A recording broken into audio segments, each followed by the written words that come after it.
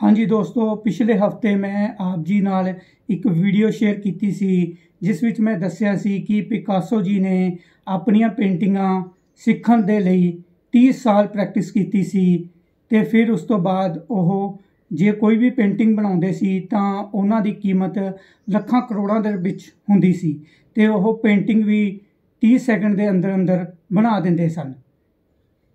ਇਸ ਸਬੰਧ ਵਿੱਚ ਮੈਨੂੰ ਕਈ ਐਸਐਮਐਸ ਆਏ, ਕਈ ਮੈਸੇਜ ਆਏ, ਜਿਸ ਵਿੱਚ ਇਹ ਲਿਖਿਆ ਹੋਇਆ ਸੀ, ਇਸ ਤਰ੍ਹਾਂ ਨਹੀਂ ਹੋ ਸਕਦਾ। ਤੇ ਮੈਂ ਹੁਣ ਪਿਕਾਸੋ ਜੀ ਦੀ ਕੋਈ ਵੀਡੀਓ ਤਾਂ ਨਹੀਂ ਤੁਹਾਡੇ ਨਾਲ ਸ਼ੇਅਰ ਕਰ ਸਕਦਾ, ਕਿਉਂਕਿ ਉਹ 19ਵੀਂ ਸਦੀ ਦੀਆਂ ਗੱਲਾਂ ਨੇ। ਤੇ ਇੱਕ ਵਿਅਕਤੀ ਦੀ ਵੀਡੀਓ ਮੈਂ ਤੁਹਾਡੇ ਨਾਲ ਸ਼ੇਅਰ ਕਰ ਰਿਹਾ ਹਾਂ। ਤੁਸੀਂ ਉਸ ਨੂੰ ਜ਼ਰੂਰ ਦੇਖਣਾ ਤੇ ਦੇਖਣਾ ਕਿ ਉਹ ਵਿਅਕਤੀ ਪ੍ਰੈਕਟਿਸ ਦੇ ਨਾਲ ਕਿੰਨੀ ਜਲਦੀ ਤੇ ਕਿੰਨੀ ਵਧੀਆ ਪੇਂਟਿੰਗਸ ਬਣਾਉਂਦਾ ਹੈ। ਧੰਨਵਾਦ।